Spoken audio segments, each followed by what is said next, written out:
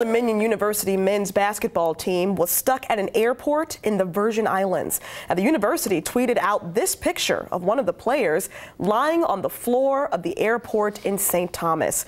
But there's some good news here. They boarded a flight back home this morning.